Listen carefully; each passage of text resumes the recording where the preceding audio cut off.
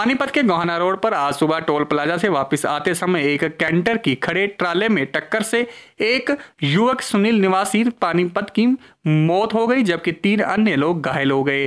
वहीं पानीपत के गाँव धर्मगढ़ के पास हुए दो कारों की आपसी भिड़त में दो युवक गंभीर रूप से घायल हो गए। सभी को इलाज के लिए पानीपत के सामान्य अस्पताल लाया गया, जहाँ से उनकी हालत गंभीर होते देख डॉक्टर ने उन्हें पीजीआई रोहतक रेफर कर दिया। वहीं पुलिस ने मृतक का पोस्टमार्टम करवा शव परिजनों के हवाले कर जाँच शुरू कर दी। एक अपना कंटेनर रोड पे खड़ा रहा दार गोल चक्कर के पास, जो ये बता रहे हैं।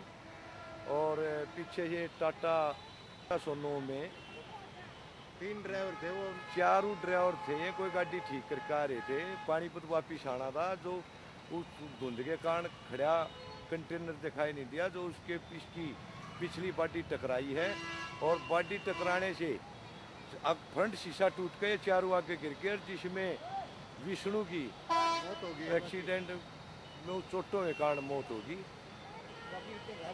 बाकी तीन तीन घायल हैं। तीन घायल हैं और तफ्तीश जारी है। कंटेनर का पता लगाएँगे। मुकदमा दर्ज कर दिया है, तफ्तीश जारी है।